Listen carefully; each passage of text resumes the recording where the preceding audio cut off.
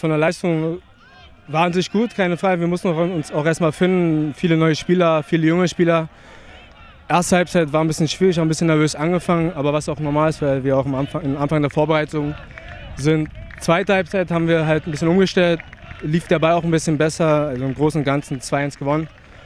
Auch verdient, meiner Meinung nach. Man merkt, die Automatismen führen immer mehr rein, die Jungspieler fühlen sich super rein, alles super Charaktere, also macht auch echt Spaß mit den Jungs zu spielen. Und wie gesagt, wir sind neue, neue Leute, dauert halt alles eine Weile, aber wir haben ja noch drei bis vier Wochen zum Saisonstart. Bis dahin müsste es auch alles reichen und es ist auch noch genug Zeit, bis dann schaffen wir es auch. Es ist immer schwierig, also Berlin-Liga ist halt immer ein bisschen anderes Niveau als Landesliga, keine Frage, aber wir haben uns vorgenommen, wir haben gute Mannschaften, eine gute Mischung, wie gesagt, zwischen alt und jung schon, also erste, ober, dritte ist schon unser Saisonziel auf jeden Fall. Also das war eine verdammt gute Leistung von der Mannschaft, äh, war ein sehr starker Gegner und ja, Hut ab, Hut ab vor der Mannschaft und äh, Hut ab auch vor den Fans. Äh, ich denke mal, ein paar Videos gibt es davon. Äh, aber war einfach ein geiles Spiel. Ich denke mal, die Konzentration von bis zum Ende durchzuhalten, ähm, einfache Bälle zu spielen und äh, gegebenenfalls äh, leichte Gegentore vermeiden. Ja, natürlich. Es gibt äh, verdammt viel, verdammt viel äh, also, das heißt nicht viele, aber lass fünf, sechs neue sein. Ähm,